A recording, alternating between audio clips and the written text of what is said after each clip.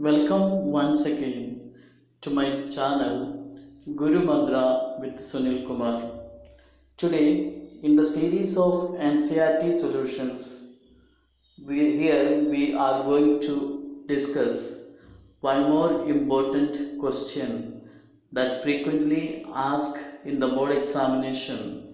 The question is Is it important to increase the area under irrigation? Why?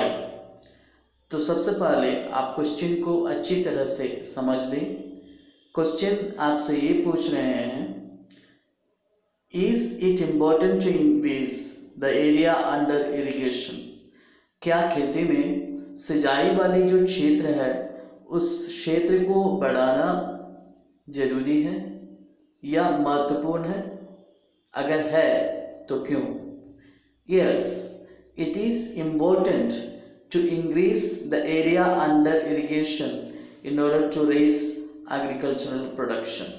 कृषि में उत्पादन को बढ़ाने के लिए क्या आवश्यक है? एरिया अंडर इरिगेशन को इंक्रीज करना, यानी सिंचाई वाली जो भू विभाग है, उसकी क्षेत्रफल को बढ़ाना ज़रूरी है। Water is essential for agricultural production कृषि उत्पादन में पानी एक अभिन्न और महत्वपूर्ण अंग है।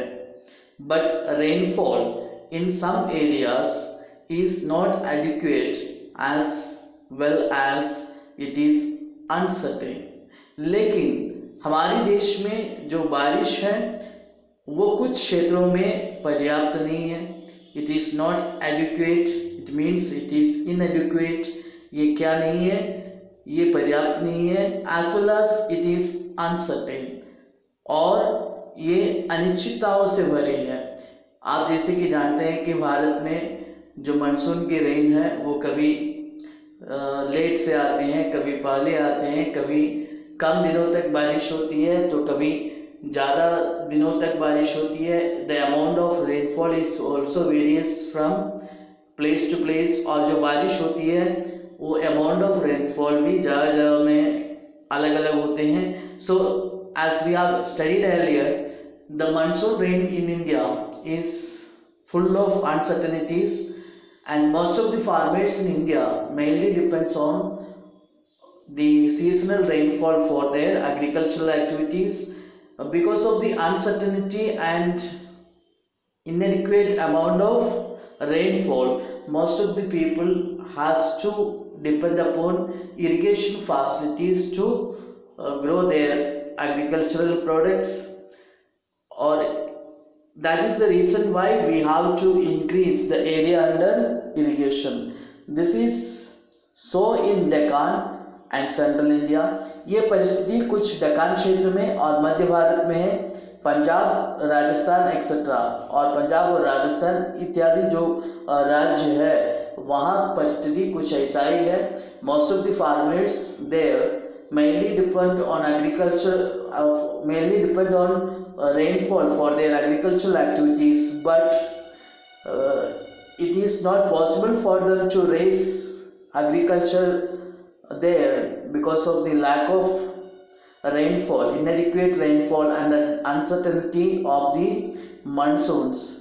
It is mainly found in Deccan and central India ये आपकी डकान में, मध्य भारत में और पंजाब, राजस्थान जैसी जो राज्य है, उसमें ये परिस्थिति है। In this areas artificial irrigation is quite necessary जहाँ पर बारिश अनिश्चितताओं से भरी है, खास करके पंजाब में, राजस्थान में डकान प्लेटू रीजन में सेंट्रल इंडिया में, जहाँ बारिश अनिश्चितताओं से भरी है और एडिकेट अमाउंट में बारिश नहीं होती है, वहाँ पर किसानों को क्या करना पड़ता है? आर्टिफिशियल इरिगेशन यानी कृत्रिम तौर पर सिंचाई की व्यवस्था करना बहुत ज़रूरी हो जाता है। It is quite necessary for people living in those areas to arrange artificial irrigation without it cultivation is almost impossible here artificial इरिगेशन के बिना इन जगहों पर क्या संभव नहीं है, खेती संभव नहीं है। Specially in Deccan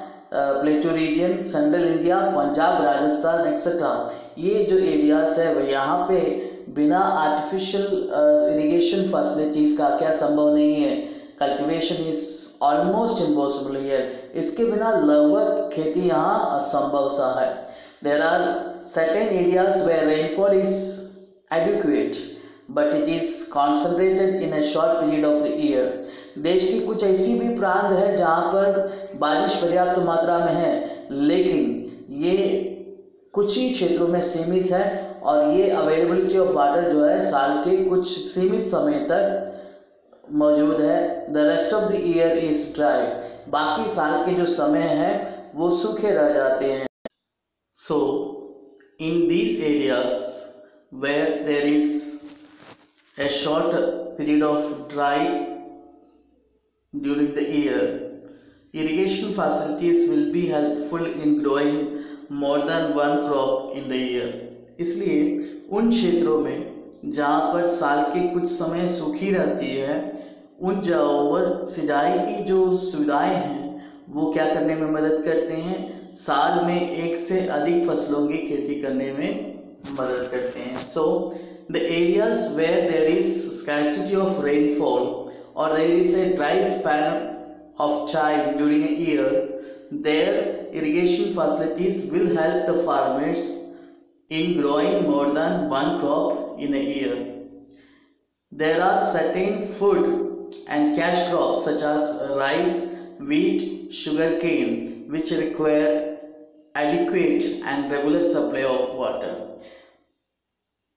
बहुत सी ऐसी कैश क्रॉप्स है, जिस कैश क्रॉप्स किसको कहते हैं? जिससे डायरेक्टली हम बाज़ारों में बेचते हैं और सीधे कैश रिटेन में हासिल कर लेते हैं।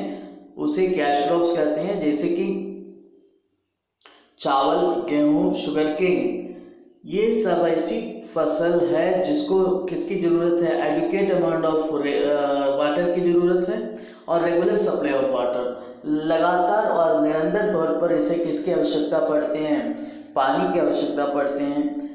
Moreover H Y V seeds need plenty of water okay you have already studied that the H Y V seeds the high yield variety of seeds that we use in modern farming methods require lot of water और plenty of water so this is also one reason where irrigation irrigated land has to be increased to increase the production in agriculture यही एक वजह है कि बहुत सारे क्षेत्र में जो इरिगेटेड एरिया है, उसे इंक्रीज करने की ज़रूरत होते हैं, क्योंकि इरिगेशन फैसिलिटीज़ के बिना क्या नहीं हो सकता। बहुत सारी कैश क्रॉप्स जैसे वीट शुगर केन और राइस जैसी जो कैश क्रॉप्स है, उसकी खेती नहीं हो पाता है। और मोर ओवर जो आधुनिक कृषि संप्रदाय में एच वाई सीड्स का प्रयोग करते हैं उसमें ज़्यादा पानी की आवश्यकता होती है so obviously a farmers has to increase the area under irrigation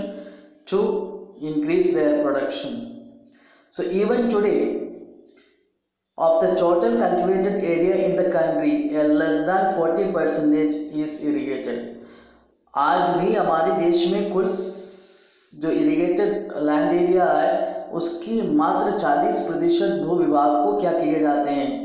irrigated मतलब सिंचाए जाते हैं। So irrigation will be an important input to increase agricultural output keeping in view of the food requirement of the rapidly growing population इसलिए हम ये कह सकते हैं कि सिंचाई जो है, एक महत्वपूर्ण इनपुट है, जिससे हमारी जो आउटपुट है फ्रॉम एग्रीकल्चर उसको क्या कर सकते हैं आप?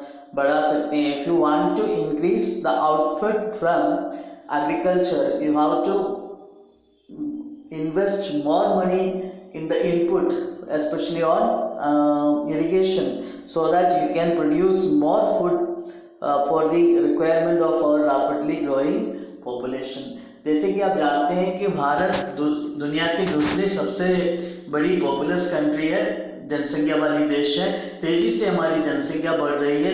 जिस रफ्तार से हमारी जनसंख्या बढ़ रही है, उस रफ्तार से बढ़ती हुई जनसंख्या की जो फ़ूड रिक्वायरमेंट है, खाद्य पदार्थों की आपूर्ति है, उसे करने के लिए हमें क्या करना होगा कृषि के क्षेत्र में इरिगेटेड लैंड एरिया को इंक्रीज करना होगा और we have to put more effective irrigation facilities so that we can create more output from agriculture.